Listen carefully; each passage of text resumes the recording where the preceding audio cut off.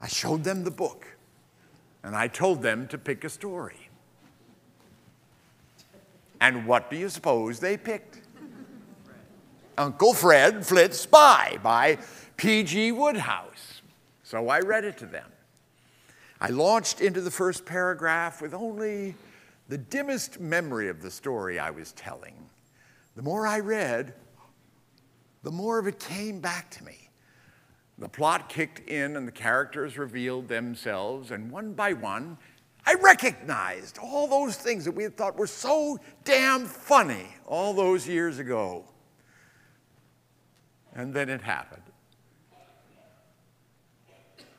My father started to laugh.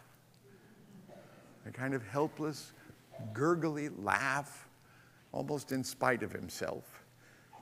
It was like the engine of an old car starting up after years of disuse.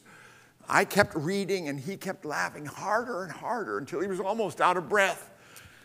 Uh, my mom turned and looked at him, eyes wide with surprise, and then she started laughing too, a little tentatively at first, but by the end of the story, the two of them were laughing like a pair of old mynah birds squawking away. It was the most wonderful sound.